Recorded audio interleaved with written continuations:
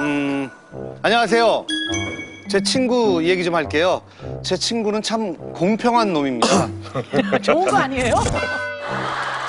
누구 하나 손해보는 걸 끔찍기도 싫어하죠. 이게 얼마나 사람을 미치게 만드는 줄 알아요? 그 친구와 함께 과자를 먹으면요. 다, 야 야 야 야, 가만, 가만. 여기 과자 다 퍼봐. 다 고- 퍼봐. 다 퍼봐. 자, 공평하게 똑같이 먹어야 돼. 너 하나. 중학생도 아니고. 나 하나, 너 하나, 나 하나. 정말 과자 먹기 더럽게 힘들다니까요. 그 친구와 함께 밥을 먹을 땐 더 미칩니다.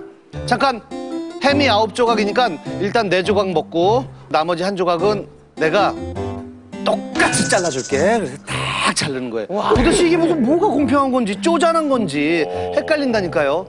술자리에서는 어떤 줄 아세요? 양팔 저울을 가방에서 꺼냅니다. 그래서 술도 공평하게 똑같이 저울로 재서 마셔야 된다는 거죠. 대박이다. 술맛 떨어지는 거 아니에요? 술이 먹기 싫어도 안 돼. 내가 다섯 잔 마셨으니까 너도 공평하게 다섯 잔 마셔야 돼. 빨리 마셔.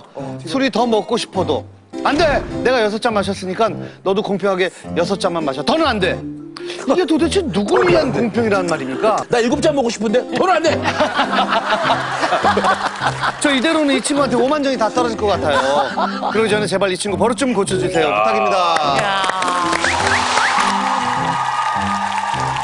뭐 있어요? 이렇게 좀 집착했던 적 있어요? 똑같이 나눠 먹어야 된다. 아니면 주변에 이렇게 좀 공평하게. 아니 멤버들끼리 좀 이렇게 데뷔 1년 때까지는 뭐 좀 그런 게 있었어요. 뭐 네가 뭐 이거 해라 저거 해라 청소할 때도 뭐 분담하고 했는데 지금은 뭐 시간 되면 하는 사람 하고 이거 해라 저거 해라만 하고 솔선수범을 안 하는 리더가 있지 않나요?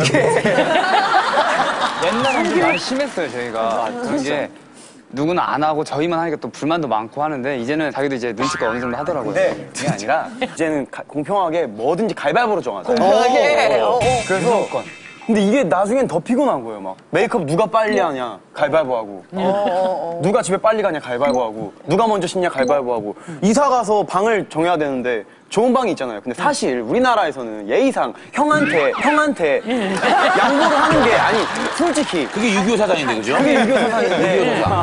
너무 가위바위보에 집착을 해서 얘들이 좀 예의를 잃어버린 게 아닌가. 가위바위보 하자고 정한 사람 누구예요? 이렇게 심해질지 몰랐는데. 자, 보면